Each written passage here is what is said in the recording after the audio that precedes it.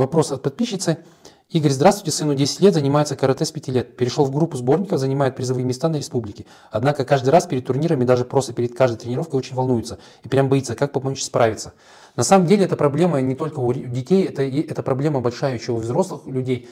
Единственное, взрослые люди, они в какой-то период своей жизни, они как-то учатся с этим справляться, в кривь, в кость, но основная причина того, что человек волнуется перед соревнованиями, перед публичным выступлением, это рефлекс того, что тебя любят, это рефлекс того, что ребенок привык, что его любят только за достижения. Его не любят просто так, а его любят всегда за что-то. И очень важно дать ребенку понять, а, можно просто подойти, обнять и сказать, сынок, даже если ты займешь последнее место, я все равно тебя буду любить. Моя любовь к тебе не зависит от того, занимаешь ты первое место или последнее.